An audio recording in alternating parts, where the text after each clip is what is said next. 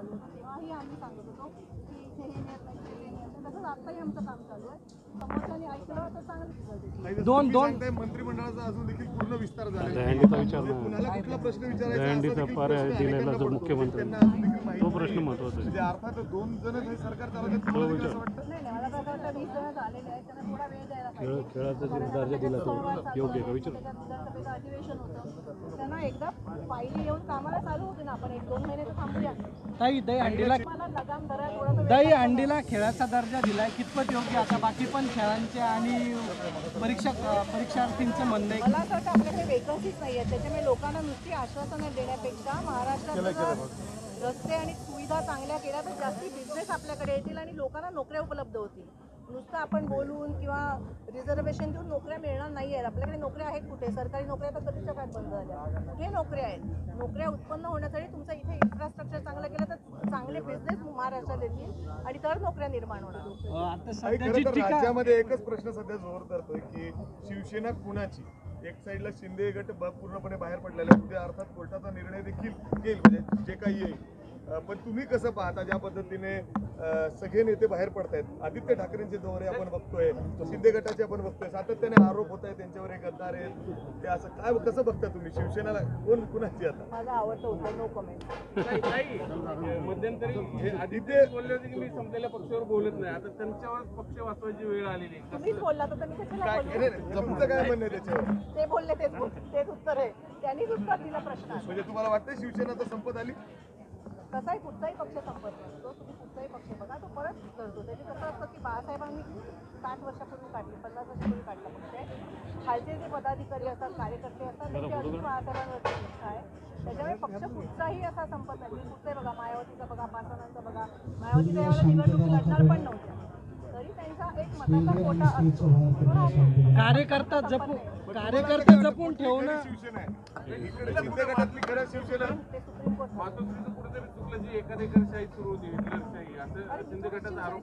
कशी सांगणार नाही त्यातून तुम्ही पण बाहेर पडले होतात हे तुमच्या वेळेस पण मी- घडलेलं आम्ही होतं. जेव्हा बाहेर पडलो होतो तेव्हा ती सगळी उत्तरं राजसाहेबांनी दिली होती.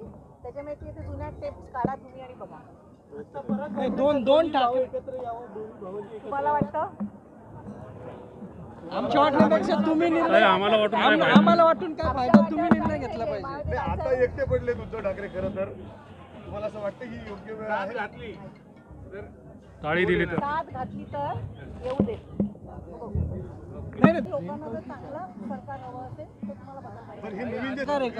झाल्यानंतर म्हणजे देवेंद्र फडणवीस असतील एकनाथ शिंदे सगळे जण भेट देऊन घेतले केलेले आहेत राजसाहेबांची.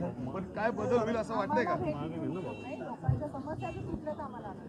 ईडी सरकार काय आहे? बदलेल याच्यासाठी काय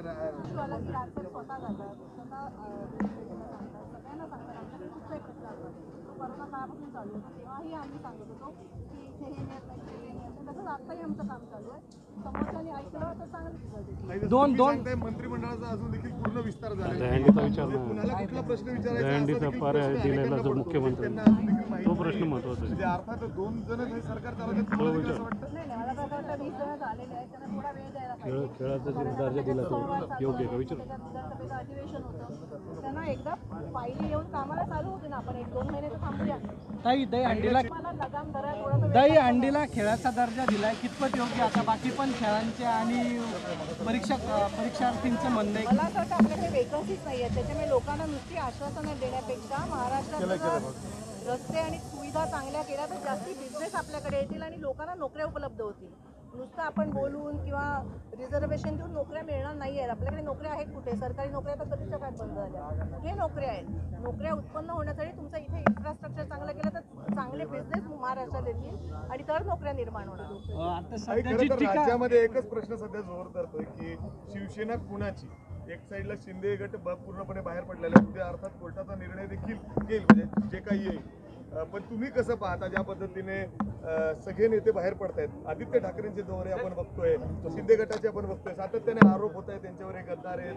ते असं काय कसं बघता तुम्ही? शिवसेनाला कोण कुणाची आता? माझं आवडतं नो कमेंट.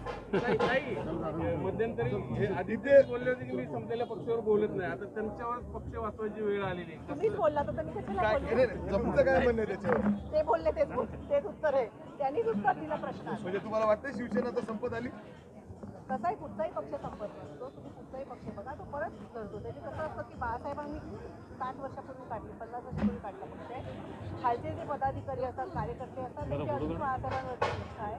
त्याच्यामुळे पक्ष कुठचाही असा संपत नाही. तुम्ही कुठे बघा मायावतीचा बघा पासवानांचा बघा. मायावती त्यावेळेला निवडणूक लढणार पण नव्हत्या.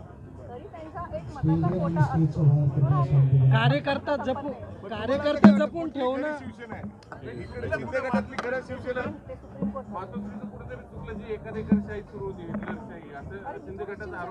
कशी सांगणार? नाही त्यातून तुम्ही पण बाहेर पडले होतात. हे तुमच्या वेळेस पण घडलेलं आम्ही होतं. जेव्हा बाहेर पडलो होतो तेव्हा ती सगळी उत्तरं राजसाहेबांनी दिली होती.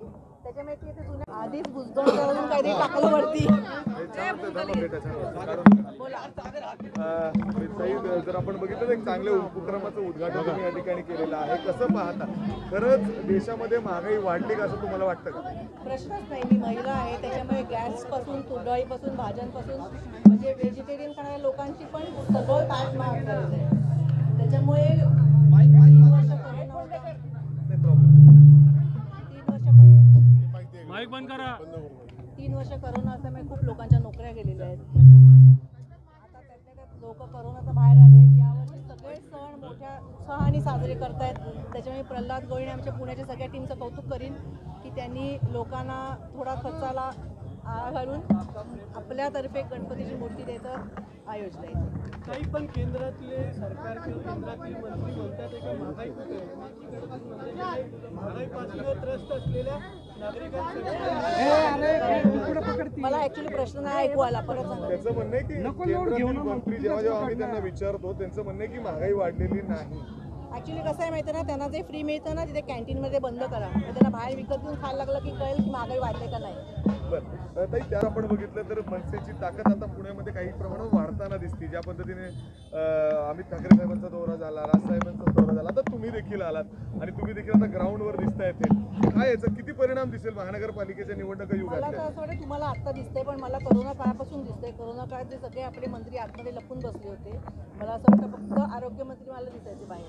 बाकी कोणीही दिसलं नव्हतं बाहेर त्यावेळेला मी अभिमानाने सांगितलं की आमच्या पक्षाचे लोक रस्त्यावरती स्टॉल्स टाकून रेमडेसिवीर इंजेक्शनपासून बेड मिळवणं पीपी किट देणं मृतदेहांची विल्हेवाट लावण्यापासून सगळं केलं.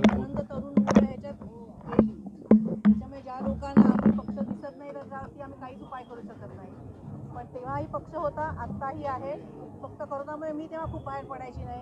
आम्ही विद्यार्थी संघाचा अध्यक्ष झाला आणि करोना चालू झाला. मी दौरे ॲक्टच आम्हाला करता आली नाही. पण ते आता करोना गेला आहे सगळे बाहेर पडायला सुरुवात झाली. हे सगळे होल होईल कधी? मनसेची सत्ता येईल. असं वाटतं? आणि काय प्लॅन आहे? म्हणजे काय आम्ही कायम चांगल्या इच्छा व्यक्त करतो. आणि मला असं वाटतं की लोकांना पण आता वाटलं असेल की इतक्या वर्षात मुंबईतले रस्ते नाही झाले किंवा महाराष्ट्रातले आता रस्ते नाही झाले पाण्याचे प्रश्न सुटले नाही आहेत. तुमच्या पुण्याच्या चॅनलवरती मी काय ऐकत असते? थोडं थोडंसं पाणी पडलं की गावात पाणी येतं. हे ॲक्च्युली पंच्याहत्तर वर्ष झाली आपण स्वातंत्र्य हे कधीच गोष्टी व्हायला पाहिजे होत्या. महाराष्ट्र हा देशाला चाळीस पन्नास टक्के उत्पन्न इन्कम टॅक्स देतो. त्यामुळे तुम्ही जर महाराष्ट्र बघितला तर रस्त्यात पण इतका मागासलेला आहे की तुम्ही कुठची हद्द ओलांडा. महाराष्ट्र लगेच रस्ते खुळखुळीत व्हायला सुरू होतील. आपले